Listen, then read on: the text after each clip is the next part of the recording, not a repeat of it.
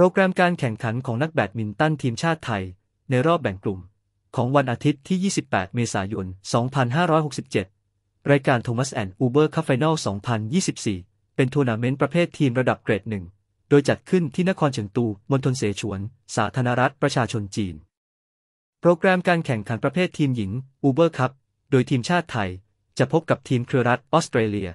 จะลงแข่งขันในคอร์ตที่ 4 คู่แรกจะเริ่มประมาณ7นาฬิกา30 นาทีตามเวลาประเทศไทย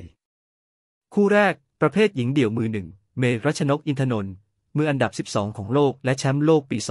2013 จะแข่งกับทิฟฟานี่ เซลินโฮ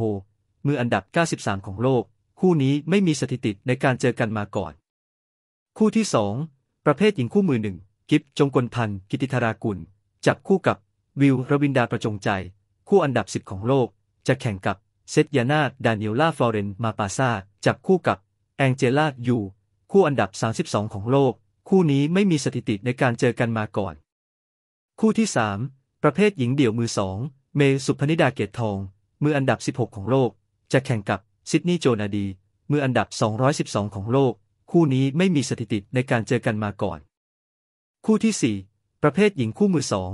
อันนา นันทการเอี่ยมสะอาด จับคู่กับ เกณฑ์ลักษิกากลหะ จะแข่งกับเคทลินเอีย จับคู่กับกรอนย่าซอมเมอร์วิลคู่อันดับ 56 ของโลก คู่นี้ไม่มีสถิติในการเจอกันมาก่อน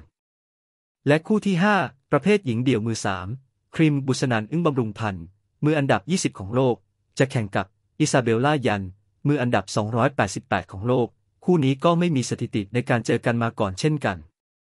ส่วนประเภททีมชายโทมัสคัพไม่มีแข่งในวันนี้ ลิงก์ชมสดออนไลน์จะแนบอยู่ที่ช่องคำอธิบายวิดีโอและคอมเมนต์แรกนะครับ ใครที่ชอบคลิปวิดีโอนี้ก็อย่าลืมกดไลค์ กดแชร์ กด Subscribe